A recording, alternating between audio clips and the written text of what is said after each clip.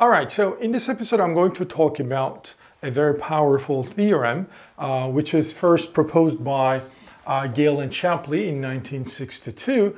And the theorem is the following there always exists a stable matching in any one on one matching market. All right, so uh, for any preference relation uh, you give me, if it is a finite, remember, one-to-one matching market, well, then I will always get you a stable matching. Well, how am I going to get you the stable matching? Uh, well, the, the Gale and Shapley also proposes an algorithm to get this stable matching.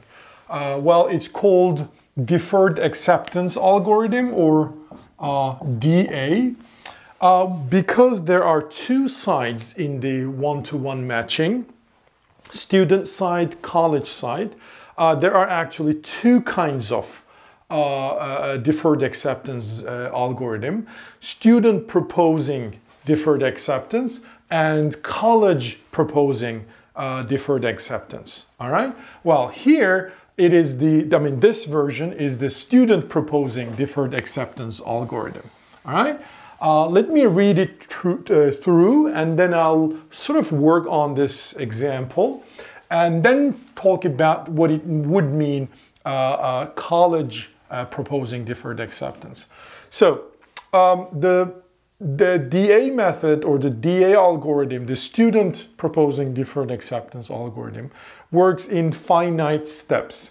In the first step, in the very first step, uh, each student applies to his or her first choice, first best college only. Okay? All right. Well, then each college tentatively holds the most preferred student if there are multiple applicants.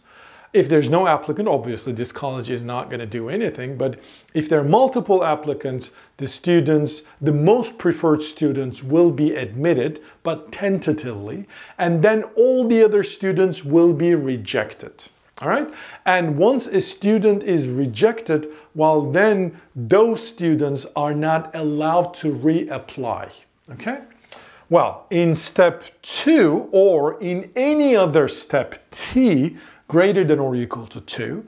It repeats itself, all right? So I call it step T. Each student rejected in the previous step, step T minus 1, applies to the next best. All right, so you're not allowed to apply again to the same college because you're rejected. That means you're going to apply to your next best. Well, then after receiving the uh, you know uh, applications, each college is going to consider the new applicants. There might be more than one new applicants, and the student uh, who has been tentatively accepted in stage T minus one. Uh, maybe no one admitted tentatively, but may, probably one student has been admitted tentatively. So the college is going to think about that student plus the new applicant. Out of all those candidates, the college is going to accept the best student and reject everybody else. All right? And then uh, basically it repeats itself.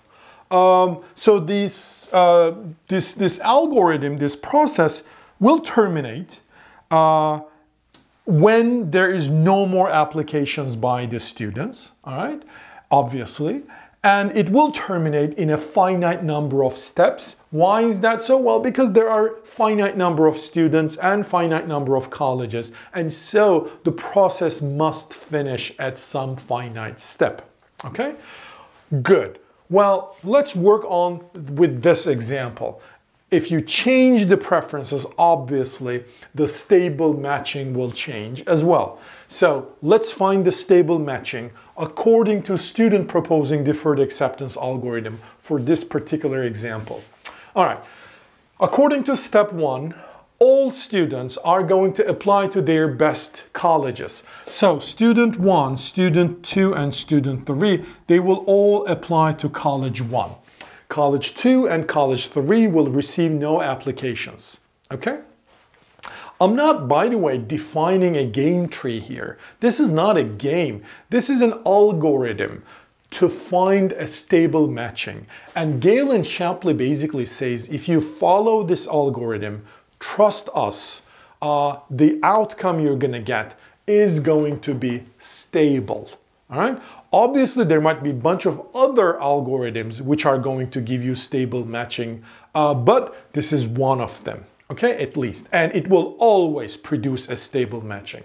All right. So this is a, and, and the second thing, I mean, do we know that this this I mean, who who runs this algorithm? This is the central authority. Remember, we are talking about a centralized market. A central authority receives the students' preferences, receives the college's preferences, and then, according to those preferences, applies this algorithm and then uh, produces the outcome, which we're going to find next. Well, are those truthfully revealed? We're not there yet. Let's suppose, for simplicity, yes, students and colleges truthfully uh, reveal their preferences. Okay, student one uh, prefers college one, I mean, and college two in this ranking. So college one is his best, college two is the second best, and he doesn't want to go to college three. Uh, similarly, student two prefers college one over college three, but she doesn't want to go to college two. And student three, there's only one acceptable college, which is college one. All the other colleges are unacceptable for her. All right, so I didn't write whether she prefers C2 over C, uh, C, C2. Uh, C2 over C3 or C3 over C2. We don't know, we don't care because this algorithm is not going to match student 3 with college 2 or 3. Uh, that would be unstable, all right?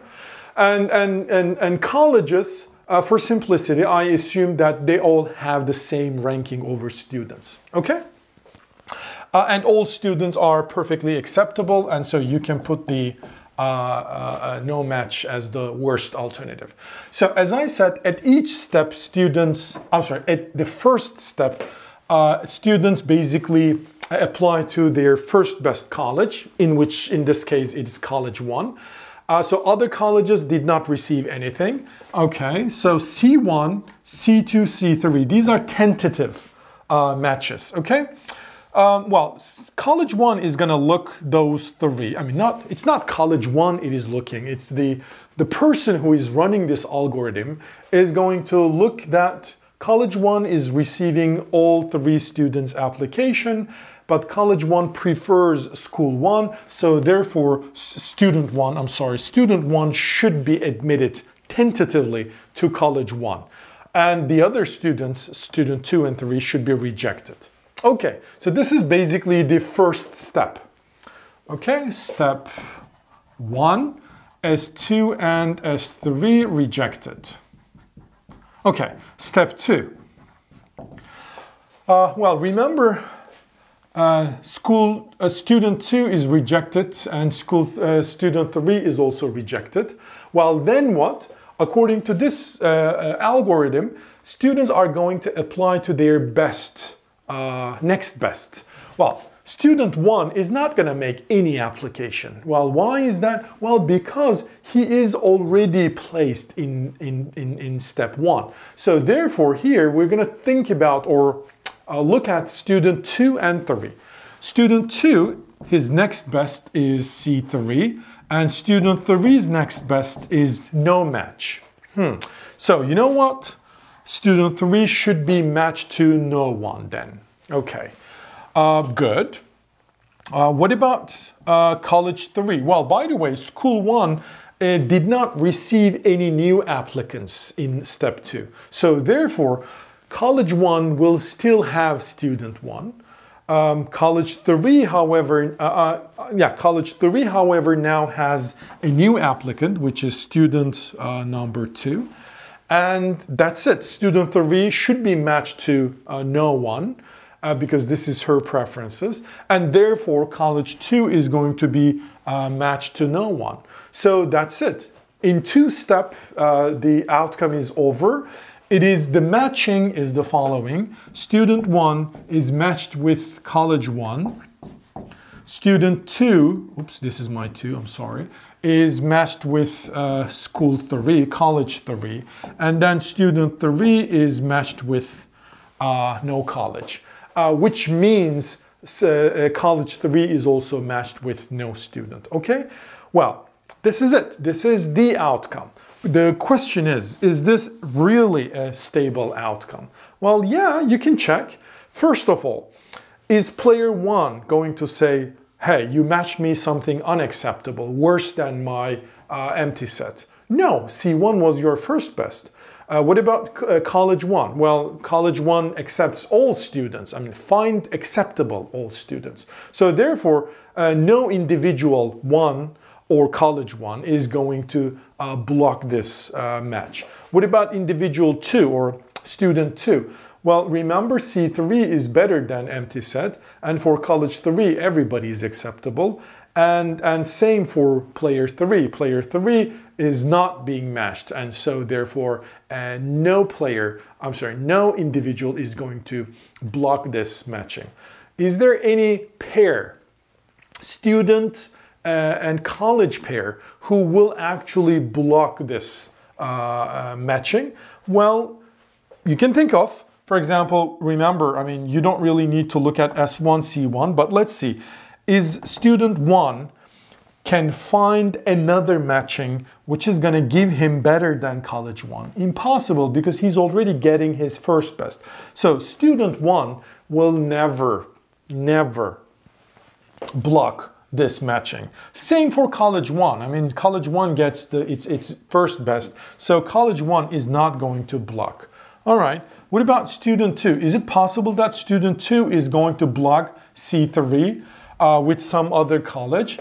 Well, the only thing uh, is that the student two can get better off, is basically being placed or, or admitted by college one. But remember, college one does not prefer student two over student one. I mean, S2 preferred by C1, S1. No, this is not true because college one prefers student one over student two. So therefore, school two is not going, I'm sorry, student two uh, is not going to block. Um, uh, uh, I mean, there's no pair together with student two can block this matching. What about C3? I mean, is there any pair with, including college 3, which may block this matching? Well, college 3 is getting student 2, right?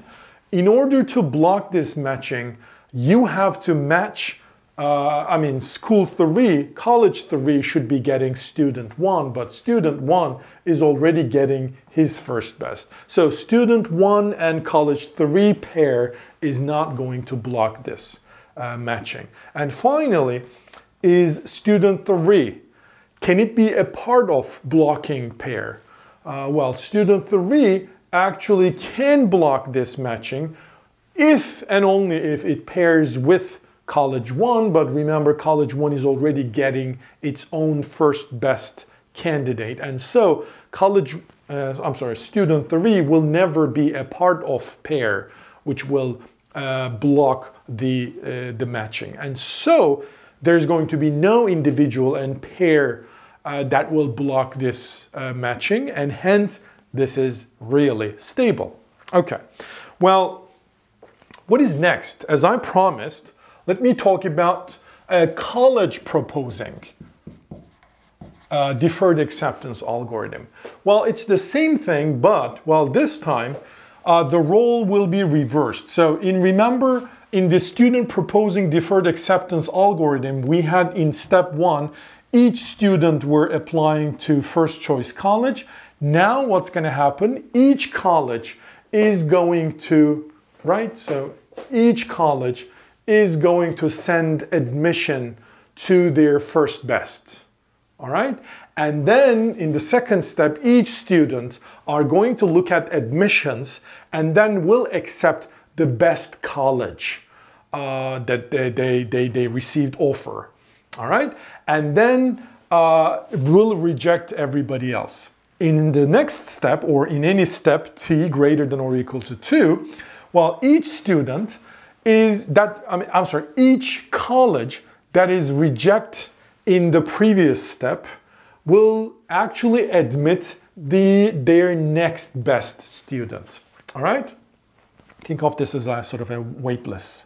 And then uh, the students are going to consider not only the college they admit, accepted in the previous period, T minus one, tentatively, and the new uh, sort of acceptance offers. And they're going to look at all those colleges, and then students are going to choose their best colleges and reject everybody else.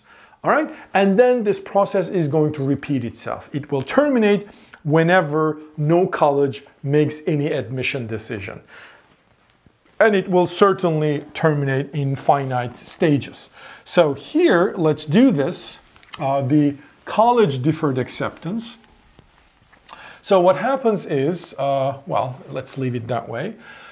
Uh, the colleges are going to admit, because they all prefer student one, student one only. Student two and three are going to receive no uh, acceptance offer, um, sadly.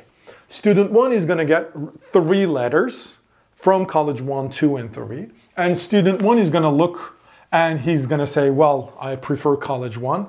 And so student one will be matched with college uh, one, tentatively.